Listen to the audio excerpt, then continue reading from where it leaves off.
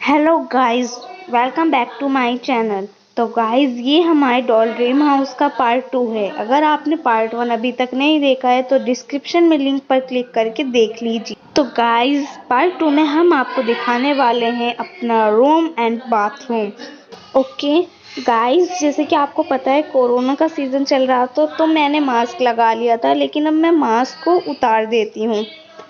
Mask उतार दिया है। एंड अब मैं स्टार्ट करती हूँ आपको टूर कराना। तो गाइस यहाँ पर हमने बालकनी है एंड यहाँ two door and two windows and and यहाँ पर यहाँ बहुत अच्छा लग रहा है इस बालकनी में हम बाहर आकर हवा ले सकते हैं। ये डोर रूम में से निकलता है।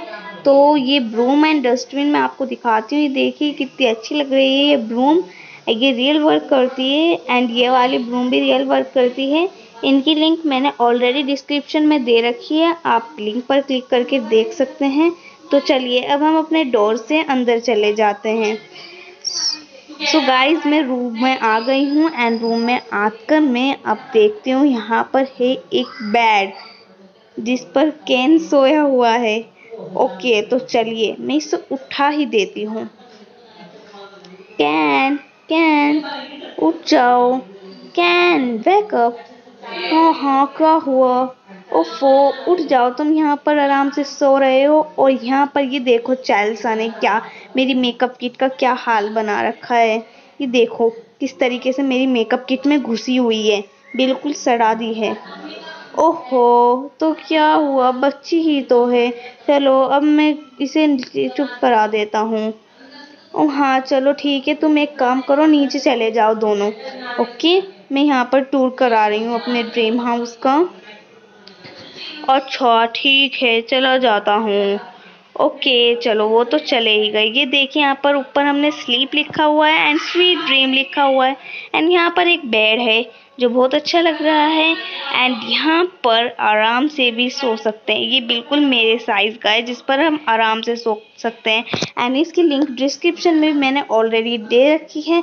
तो जी, लेकिन वहाँ पर ये इस टाइप में नहीं है। ये चेंज है थोड़ा सा बट आप इस शेप में भी बना सकते हैं। एंड ये पिल्लो भी बहुत अच्छे लग रहे हैं। अगर आपको पिल्लो भी बनाने हैं तो मुझे बता दीजिएगा। मैं ऑलरेडी मैं ज़रूर डालूँगी इसकी वीडियो एंड यहाँ पर रखा हुआ है साइड में स्टूल देखिए, इस पर वॉच रखी हुई है एंड एक फ़ोन रखा हुआ है। ये देखिए, ये फ़ोन कितना अच्छा लग रहा है। फ़ोन की लिंक भी मैं डिस्क्रिप्शन में दे दूँगी। आप फ़ोन भी बना सकते हैं। बहुत अच्छे अच्छे फ़ोन बना रखे हैं मैंने। तो अब इसमें ये ओपन भी होती हैं। इसके अंदर हमने मास्क रख रखे हैं। एंड इसके साइड में ये मेकअप किट भारी छोड़कर चले गए हैं। तो चलिए इसी बहाने हम इसका टूर करा, दिखा देते हैं आपको। तो ये देखिए, ये मेरी मेकअप किट है। इसे मैं पूरी ओपन करके आपको दिखा देती हूँ। इसमें आई शेडो भी रखे हुए हैं एंड ये कितनी ज़्यादा अच्छी लग रही है।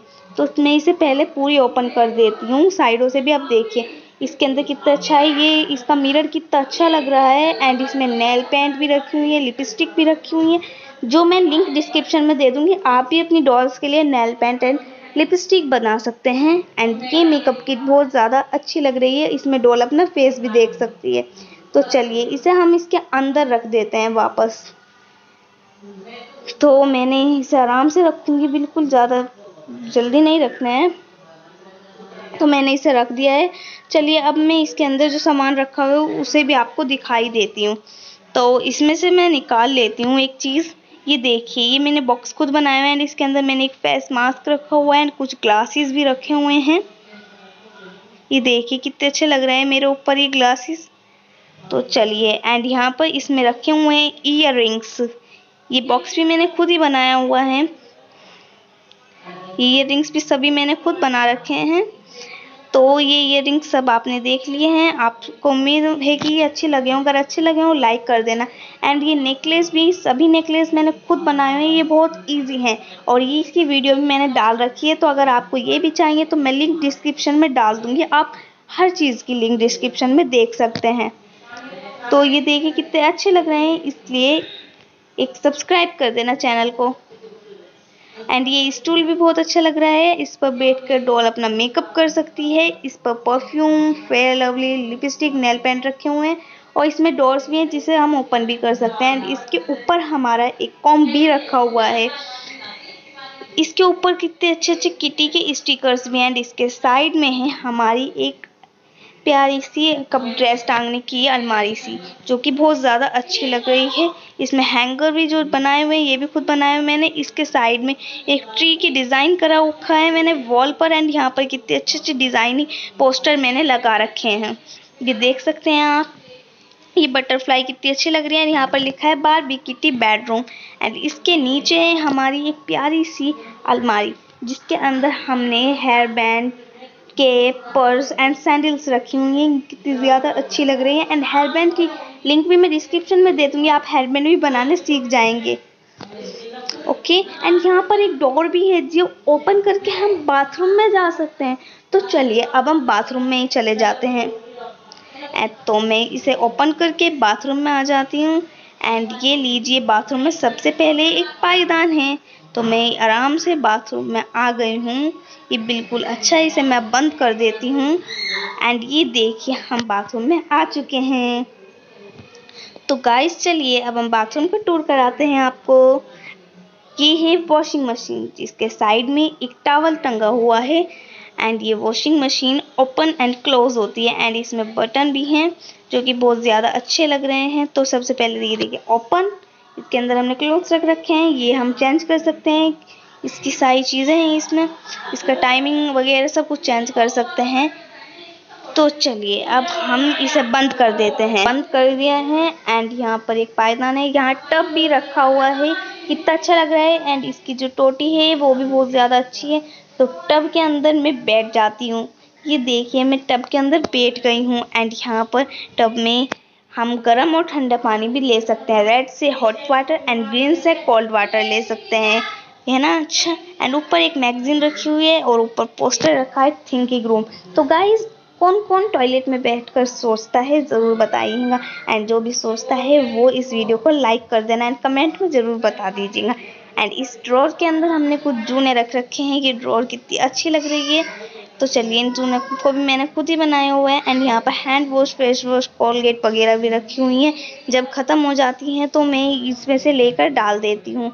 एंड उसके ऊपर भी एक अच्छे सामान रखा हुआ है और ये है हमारा वॉश बेसन यहाँ पर ये देखिए कितने अच्छे अच्छे पोस्टर भी लगे हुए हैं। ये देखिए कितने अच्छे लग रहे हैं।